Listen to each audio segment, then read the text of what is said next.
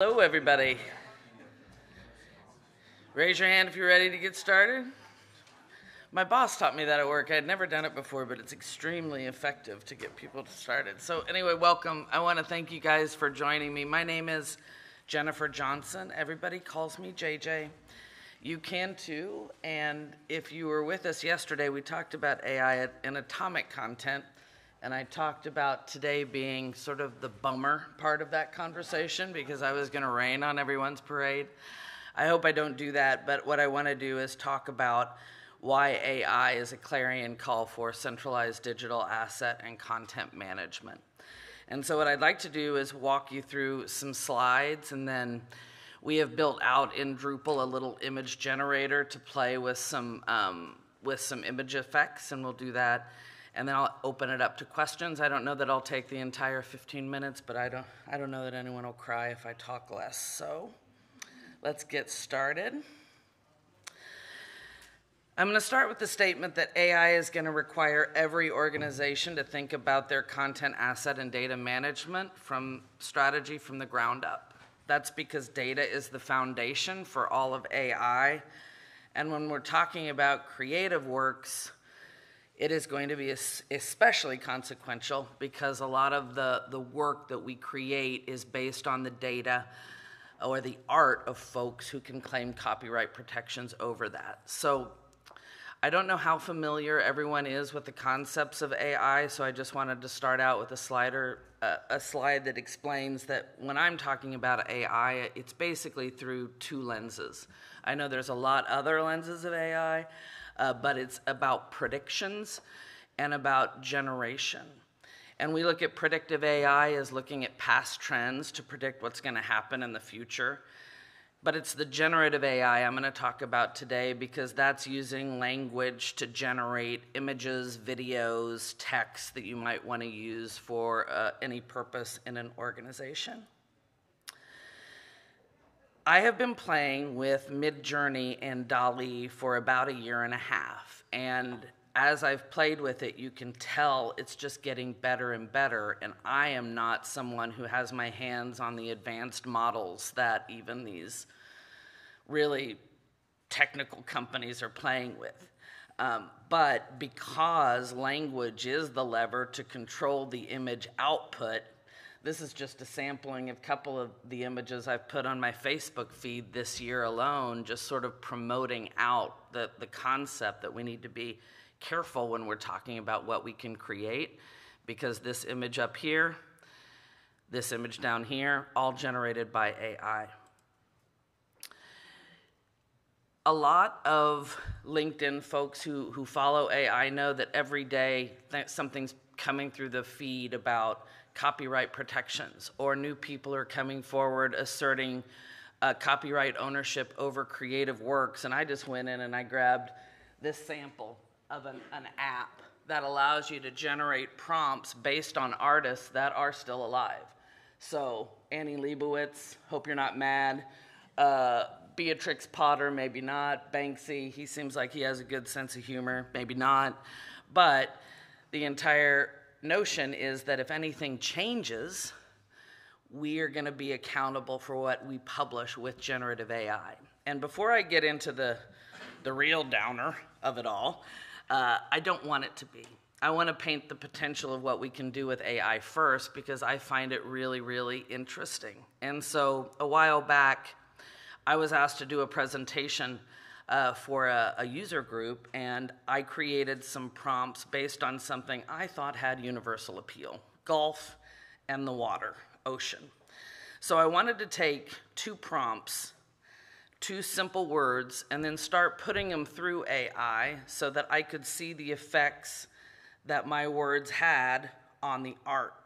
So as I go through these, just know I was kind of messing around, but if I'm doing it, your creators are going to do it too. So here's golf ball ocean applying a style of contemporary or cartoon like. And you can already see that when you generate images in DALL-E and Midjourney, it's generally giving you four different prompts to play with. And I don't know, raise your hand if you've been in Midjourney and you've played with generation. All right, you guys tune out because this is going to be boring for y'all. But everyone else, way interested. Um, so, what about those same two words put through a genre of pop art and sci fi art? Already you can see we're seeing different effects. Dreamy and happy. And then we can start combining different moods and genres together to really force different styles on those two words. So, again, this is just Gulf Ocean adding a mood and a genre of contemporary and sci fi art and cartoon and pop art. All right, this is where I noticed I had a typo here, and I'm going to apologize on behalf of myself because this is mine and I noticed it last night and I didn't fix it. But don't pay any attention to that and look at the happy faces over here because my golf ball is now very happy. And down here, my golf ball is eh, dreamy. We can force different effects by now combining style, mood, and genre. And so, you know, it's kind of fun. Then you get into perspectives. You can force things that you want through perspectives. You can add texture. You can add location. You can add colors along with location. So if I go back a slide, if I figure out how to go back a slide. I've taken three locations Dallas, Minneapolis, Dubai. I've now added colors of red, white, and blue, purple and gold for Minnesota, and then red, green, and black for Dubai. We can see that the, the, the styles that I established are still there, but we're adding in colors as well. So now we're going to go hyper and we're going to go over to Midjourney because I did a lot of that in DALL-E this is over in Midjourney. And I've used a prompt builder that is, I've built one for this demo in Drupal, but we used an off the shelf prompt builder for this a while back to show how we could really get elaborate with the effects. And this is where we can pull in Unreal Engine for the software renderer. We can dictate styles and outputs of cameras and angles if I were to look through here, we can set hyper maximalist and hyper realistic approaches that yada, yada, yada. All this stuff means a lot to photographers, but I'm a writer, so I'm to pass fast forward through it. This is another example of just a Norman Rockwell sort of effect on a golf ball. You can see it's the language that controls the output. Still, my words are golf ball and ocean, but the prompt builder has created an elaborate prompt that allowed me to get this output. And then finally, this is the last image before I break into the bummer news a 3D rendering of a golf ball suspended in midair. So, all of this is to say these are two words with different language applied to it that have created all these different variations of images. And you can imagine the variations of images you can create with the dictionary at your disposal. Because I just used two words I randomly picked out because I thought golf and ocean sounded fun. So it is fun, right? Well, I think the problem is that the copyright owners whose art and text this is based on are going to be asking for some sort of compensation for what the technology companies have done to build these applications to begin with.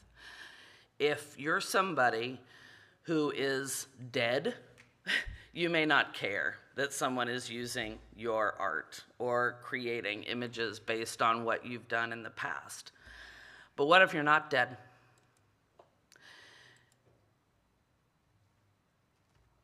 This is an artist, Kehinde Wiley, who was included in Time Magazine's 100 Most Influential People of the Year of 2018. He was commissioned to paint Barack Obama's portrait in the Smithsonian National Portrait Gallery, and it was a really big deal.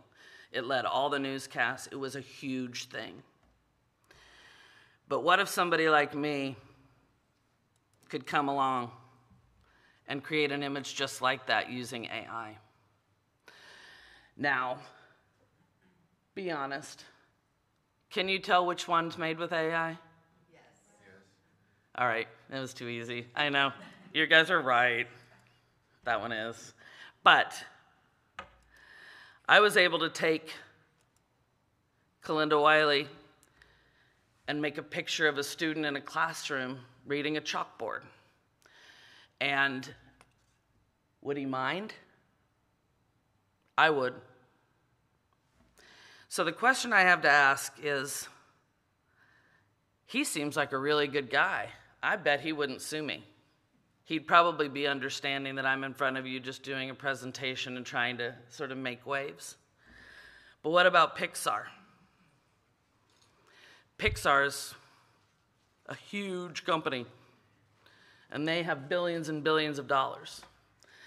And if I use their art in a marketing campaign, and they come to ask for the bill, they're not going to go to the technology companies, or they may go to the technology companies. But they're most likely going to write the terms and conditions to pass off the blame for the people who are doing the art at the end result. So I don't have to read a set of terms and conditions to know, after working in technology for as many years as I have, that the blame goes downward to the people who do the work. And that's what I'm asking you just to think ahead about what your teams are going to do with this technology. I was a, a journalist when I logged into ChatGPT for the first time, and I immediately went to LinkedIn and I wrote, 600 words about how I thought my job was going to end. I literally said, Boss, don't read this because I said, I ask it to do my job.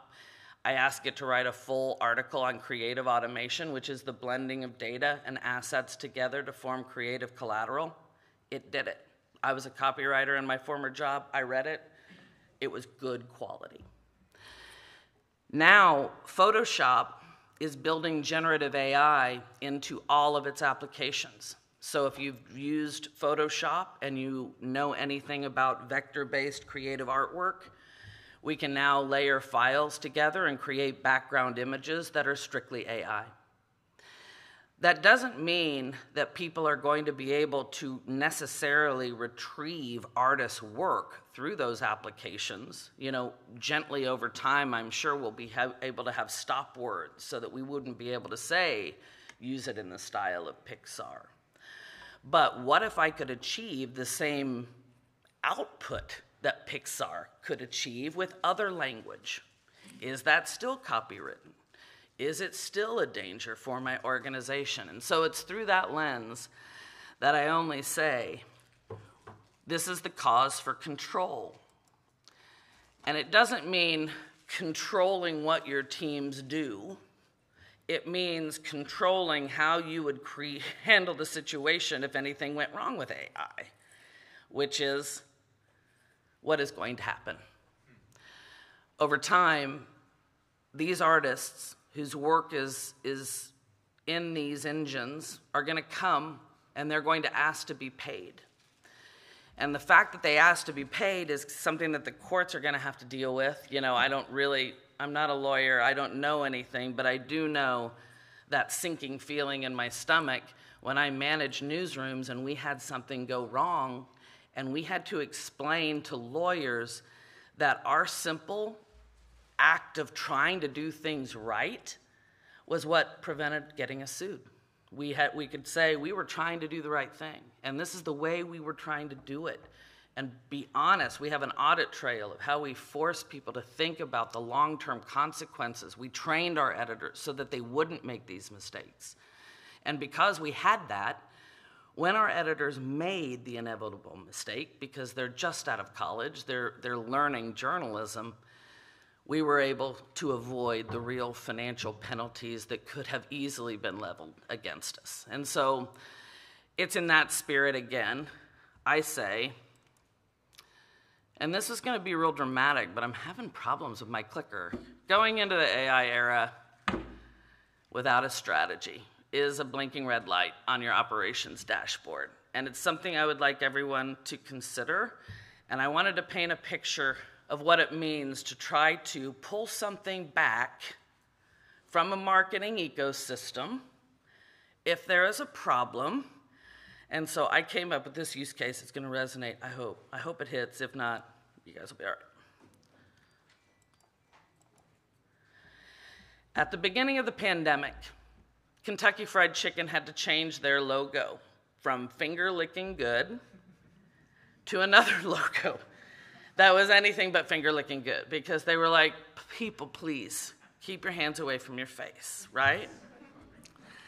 So I tried to imagine the life of this marketing manager, what their life would be like. Okay, finger licking good, it's literally on every chicken bucket in every store, it's on every napkin, it's on every, how would you possibly pull it back?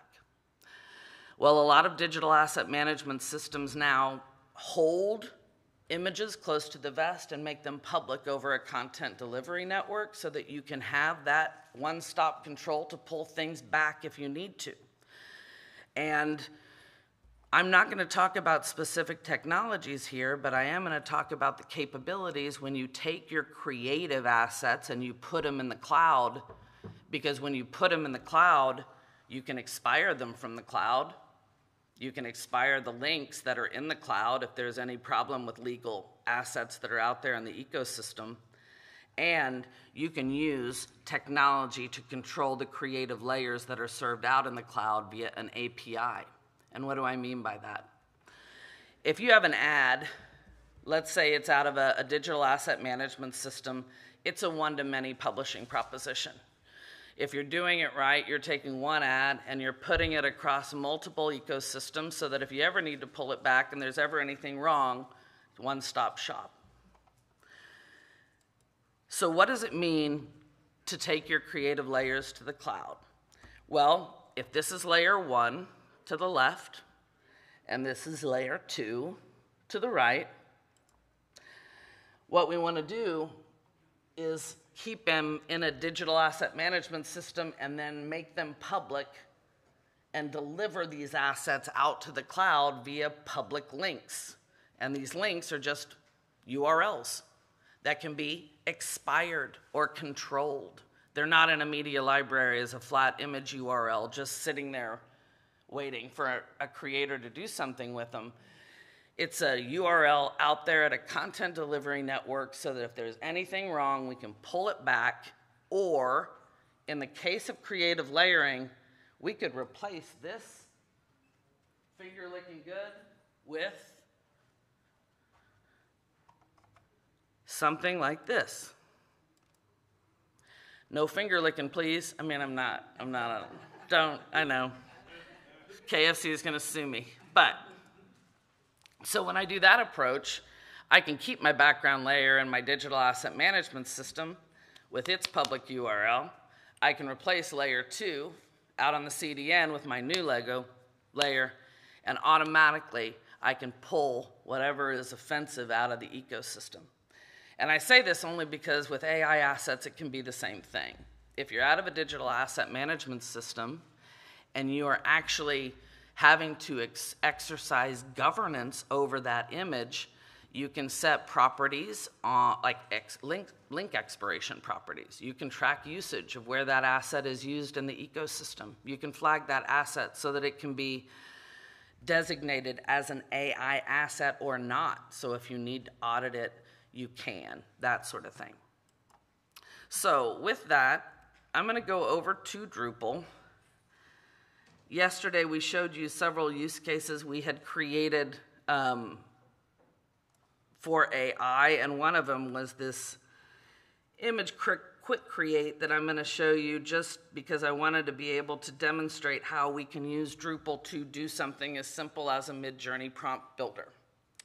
So, for those of you not in the session yesterday, we talked about we used two different technologies using this solution. We used AI Interpolator and then AI Augmenter, which are both modules that are available in Drupal. And the Augmenter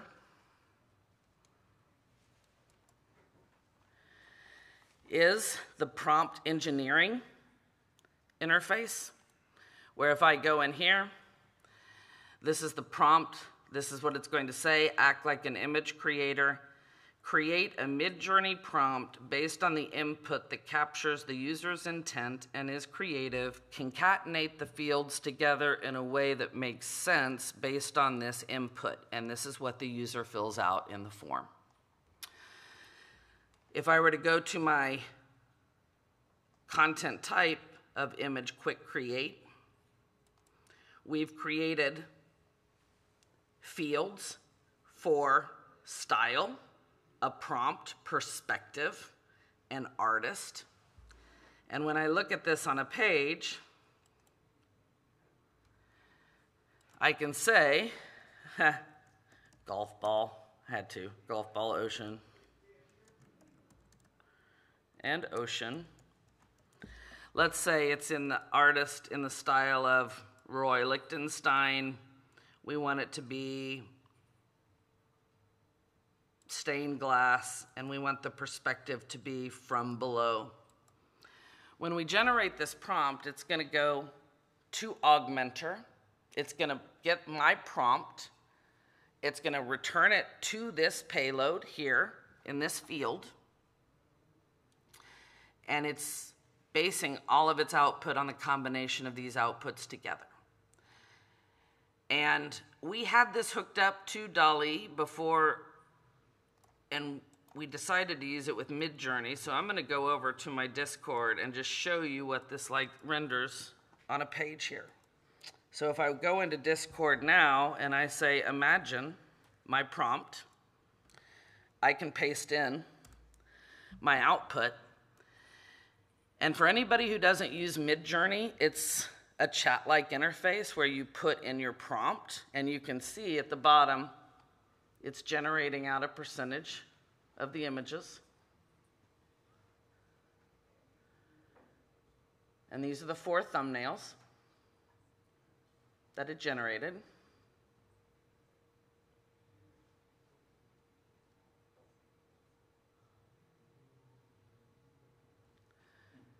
Which ones do we like the best? One, two, two. All right. If we wanted to upscale to, we could upsource this, and this delivers it out to the content delivery network, and I can use it here. You see it's out there on Discord CDN. If I wanted to create variations of this image, I can create variations by going back up and saying everybody liked two, but maybe they want to see variations of two, and now it's going to generate me four new thumbnail images based on two. It takes a while because it's kicking off a new job. It's actually using Discord to communicate with backend services in order to return the images back through here.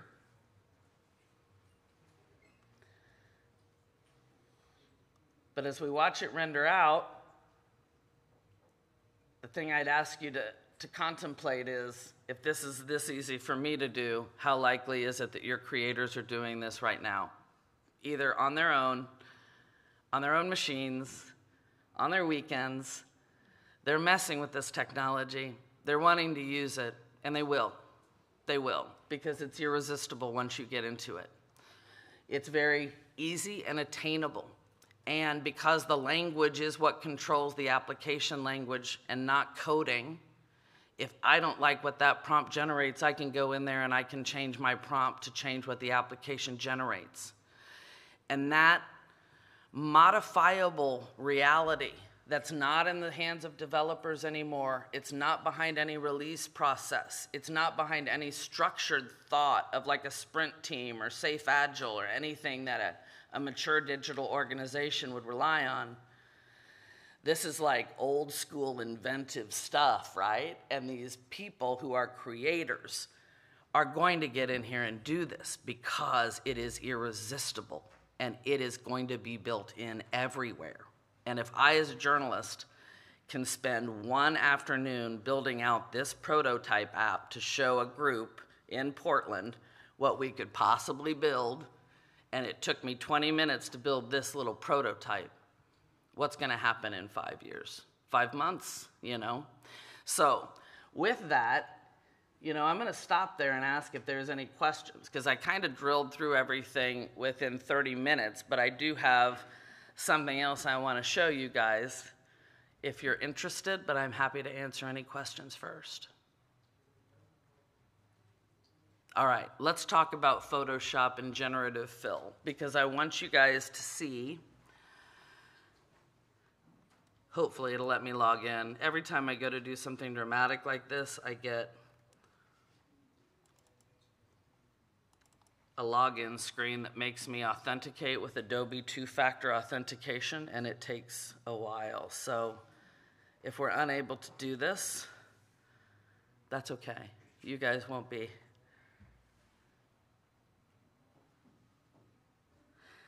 So, what do I mean by generative fill? This is my coworker Sydney. We participated in a hackathon together. Down here,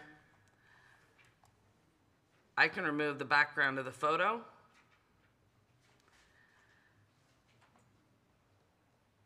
And there is, within here, I have to put my glasses on. Where's the generative fill?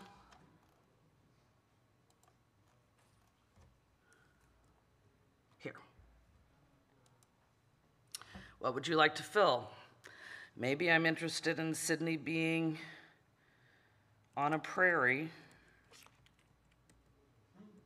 surrounded by Texas wildflowers.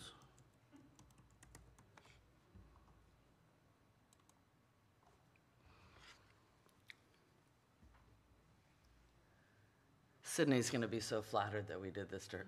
Don't tell her we did this. now, it disappeared, Sydney because my layers are out of order.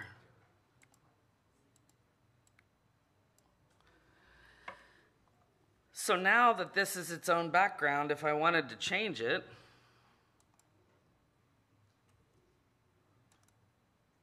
I could change it to Sydney on a yacht in the ocean. Listening to yacht rock. Oh, Dang it! I pressed enter too quick. That would have been, that would have been beautiful. Um, so as this renders out, I'm going to say this functionality is being built out across a lot of the Adobe Cloud suites. It's being built out in almost every content management system I work in. It's being built out in Creative Clouds, which is why, going back to the deck, I just have some key takeaways, and then I'm going to open it up for questions and let you guys go off and have a great afternoon.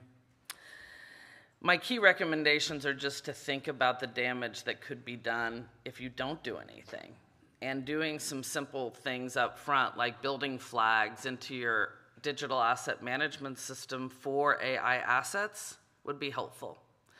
What is an AI asset? It's a true false flag against an asset. Is it generated or not? If it is generated, what prompt was used? Because then we can run an audit within the DAM to say, was Pixar used in the prompt? And if Pixar was used in the prompt, let's pull the image back and use some watermark or some sort of identifier to identify it. The next thing I'm going to say is audit for AI usage regularly. And I say regularly because if you're not using a whole lot of AI, it's not like you need to build it into your workflow. But the people who run your content operations, if you're going to use AI, need to make this part of their beat. They need to go into the DAM. They need to audit whether or not the teams are using AI assets. And more than that, they need to talk to their teams about the guidelines of the usage. How are they using it? What are they using? What applications are they using? And do those teams have a keen understanding of the risks of what could go wrong? Because I actually believe people want to do the right thing. They're earnestly trying to do the right thing. If we can build in little guardrails at the beginning to make sure that this stuff is at least tracked, then if something does go wrong, you don't have an operational nightmare on your hands and you have teams that are there to assist you as you go down the AI journey because they're going to be your foot soldiers, not me. But we just need to protect them for what's to come. Digital rights management. A lot of DAMs have digital right management systems built in because it's all about protecting copywritten r- rules for if you've got Getty images or AP images. You don't want those out on your CDN without any governance behind them. That's a simple layer that you could use to protect against AI assets now. Now, DRM is usually used to say, okay, only images that are in this territory or in of this media type could be used by this customer, but it's just a feature to protect assets, and it's something that you could easily modify or configure to help you achieve your goal of, of AI governance. Create watermarks. A lot of DAMs have watermarks for company overlays so people can't go in and say, pull an image out willy nilly of a DAM. Just create a watermark that says this is AI generated and you'll know you'll be safe. That way, if anyone ever does want to use that asset, they have to seek permission and you can grant it, and your audit trail will indicate that you granted it and you've automatically protected your rear. And the last thing I'm going to say is I love AI. I don't love what AI is going to do. I don't love the potential of it on a negative side. I'm captivated by it from a technology perspective because I think the potential is so vast, but the dangers are also pretty vast. So I tried to do both of these presentations, like excited about AI, but also just trying to make everybody think about the potential consequences operationally if you're going to use it. And it all goes back to the central premise that to get maximum value from AI, you're going to have to control the data underneath it. Because that data, whether it's the prompts, whether it's CRM data and a content management system, whether it's content, content is data, it's going to be the foundation for AI moving forward. And if you don't have control of it, it's going to control you. Um, and I don't want to see that happen. So, Thanks for coming, and I'm happy to answer any questions. Oh, you guys, you're kind. You don't have to. Is it true that if anything that you generate with AI, you cannot trademark? I have not heard that you cannot trademark it because I thought that that was an open question. But I think that that's one of the questions that'll be asked. And it goes back to like that Pixar example or the 3D generation of the 3D. What if there's an animation that's never had a 3D rendering? Like, uh, I used to be a fan of Garfield before they made Garfield 3D. What if I came in and made their character 3D? Is that new? Is that, you know, old? Could I trademark that because it's a new creative work?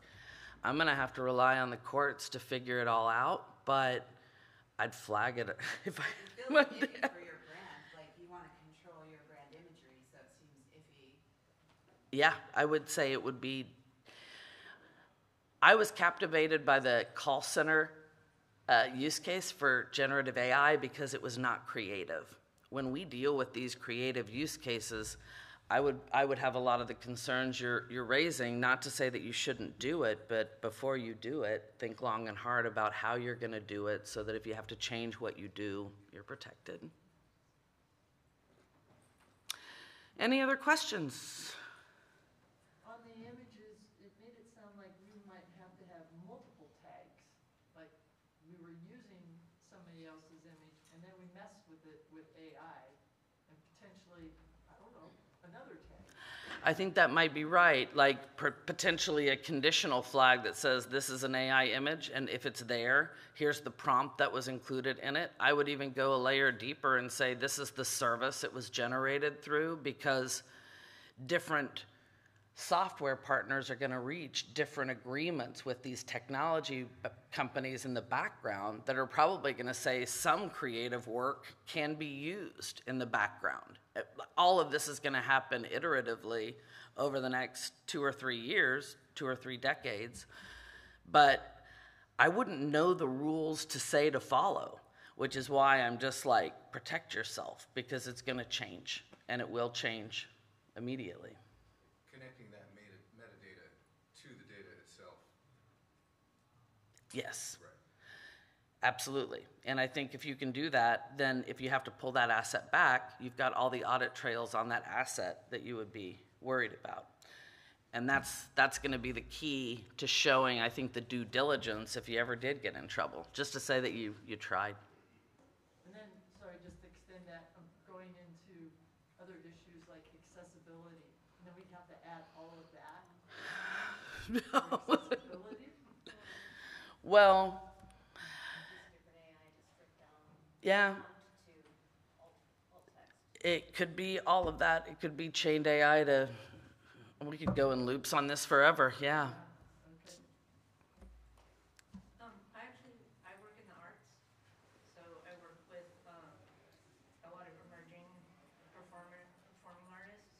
Um, I'm just curious if you have heard or seen anything like limiting what data sets that the tools can grab, like for instance, you know, a lot of artists, well, most artists, they're very particular about what images we can use and having the approvals, the captions. If we had even extended background, we've been putting, you know, background extended by AI. in the Great. Um, but I'm just like thinking ahead, like nobody's gonna want their images online anymore. Um, if, you know, they're a creative artist, uh, so I'm wondering if there's anything that you've seen that's gonna like block basically Yeah. data set from being created from, I heard, I did hear some technology of, of being able to put in stop words in the technologies so that you couldn't generate, you know, words that artists didn't want you to generate. Then probably some level of application control through the APIs so that you could set governance, because this is all APIs, and the fact that they could authenticate these layers if they wanted to will be what the courts have to figure out. Um, but I think you're right. That's where it's going to be seen. How do the technology companies end up working with the artists? And then how do you guys navigate around what those unknowns are? Because it's going to shift. Those, shan- those sands are shifting every day. And it's just if you don't do anything now to prepare your teams for tagging assets and just marking it, sounds like you're already doing that. Um, that's wonderful. But if you're not, you know, it's it's time to start. So, Holly, she has a question. I do have a question for you, and it kind of speaks to your question. Um, Since you've studied this uh, for a while, do you have any recommendations about the ethics around um, denoting that an image is AI generated when it's put in its, you know, whatever channel it's pushed to in its final form?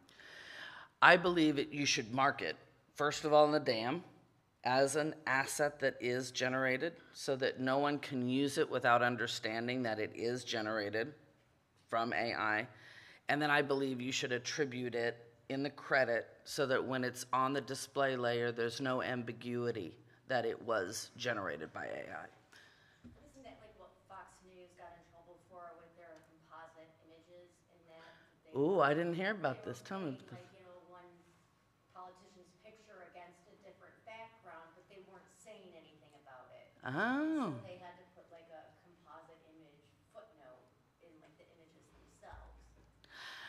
That's interesting to me because I think back to, I don't know, I'm old, but um, d- does anybody remember when OJ was arrested? And they did the Time magazine cover, and it was the first example of people using pixel art to darken the face artistically. And I think this is going to be kind of the same thing. It's a whole new world order, and we just need to think about being good stewards, and that I think is going to earn trust. If anything ever goes wrong, it's like at least we can say we tried to do the right thing. Now, Michelle, did you have your hand up? Oh, darn it. All right.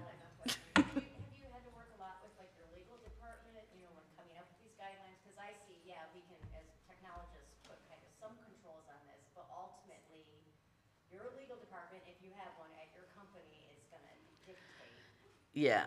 You know, to be honest, as a consultancy, we, we, we deal with clients and they come to us with questions about points of view, and that's where I sort of went down this rabbit hole.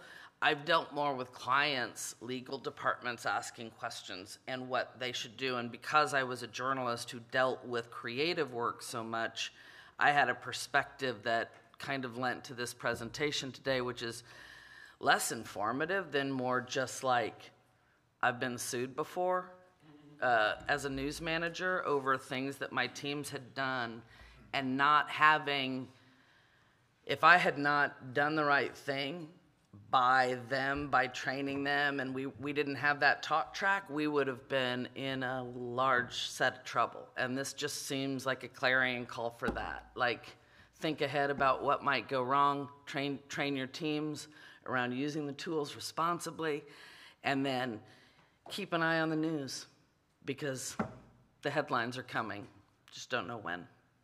Can I share a comment? Yes. Backing this example, and again, this will date me, it's really old. Please. 1993, Daily College newspaper. Our photographer took a photo of an artwork that a student made, and it was a Bert and Ernie in a intimate position. And we put that in the newspaper, ran the story. Children's Television, Television Network found it. We were on um, headline news that night of getting sued. So of course, you know, all the all the head people in legal were talking. Um, so we had to do some kind of you know retraction and message and thing, and then I had to interview the artist about why did you do that? He had nothing to say. He didn't really. He didn't think. He didn't know. He didn't didn't know. You don't know what's going to happen. So eh, when you think no one's going to find it or look for it, they they just might. So just protect yourself. So that's that caution you're saying. I'm just backing you on.